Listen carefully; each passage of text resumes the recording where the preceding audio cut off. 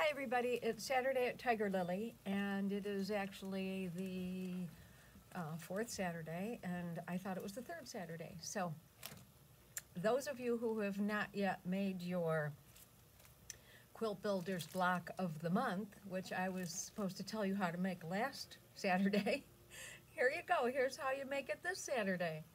So, the block for this month, or for October, is this one right here or this one right here.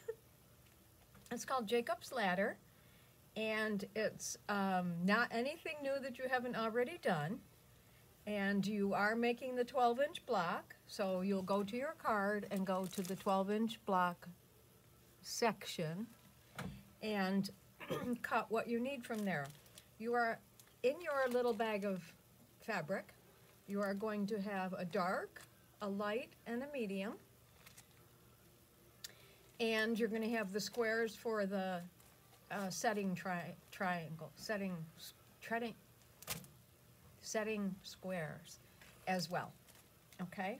So you're gonna just cut according to how this tells you. And you have on there some half square triangles to make and little four patches, and basically that's all it is. So here's your half square triangle. You can make two at a time there. And this is a half square triangle, and that's what's in the corners as well. And then these are just little four patches. So there's one there, and there's one there, and that, and that, and that, and that, and that, and that. So you have four little dark and light four patches, and you have four medium and light four patches. That's hard to say. Try it. Turn this off and say four four patches. So that's it for October. We have a bunch of baskets in the shop that are for sale. And if you're interested in one, they're on Facebook.